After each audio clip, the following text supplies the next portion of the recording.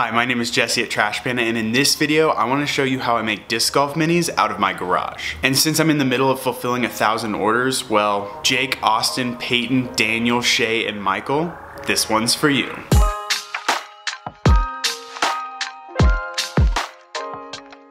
To injection mold minis or even discs for that matter, you basically just need three tools. And this is a DIY injection machine I built based off of open source drawings from Precious Plastic. It may look complex, but I had no experience when I started and I was able to learn everything. So if I can do it, so can you. Plus I made a playlist about the entire journey and all the things I learned along the way, so that should help too.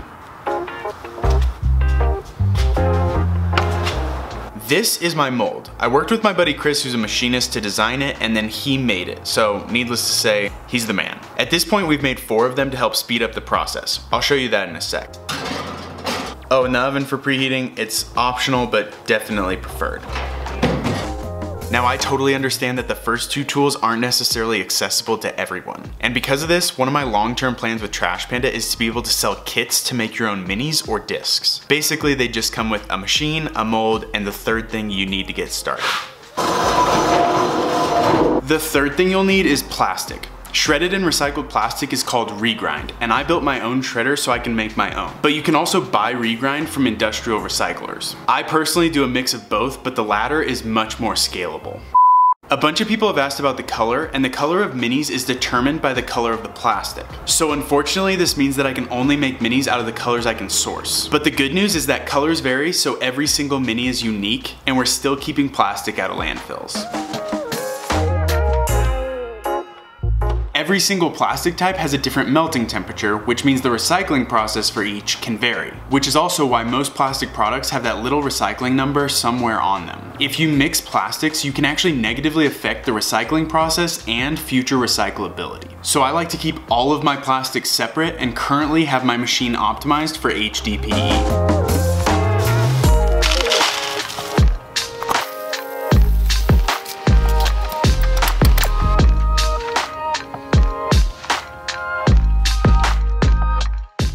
Since I initially built the machine to make a disc, it can actually make six to seven minis at a time. And because I have multiple molds, I can inject one after another.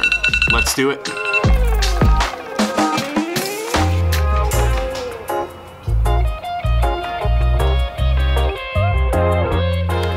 Once I've injected one, I hold it in place for about 15 to 30 seconds and then it's on to the next mold.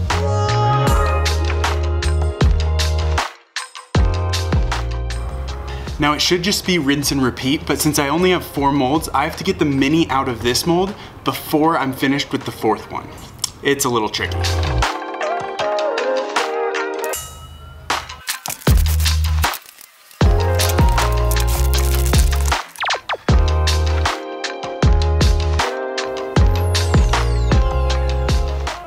One of the cool things about drilling out the injection point is I can just throw all of this plastic back into my shredder. And there you go, that was six minis in just under 30 minutes. Now all that's left to do is finish and ship them. There are three simple steps for finishing. First, cut off the injection point. Second, number the mini according to the number it was made in. And third, stamp the plastic type. Now it might not seem like much, but this is probably the most important step because it identifies what type of plastic it is.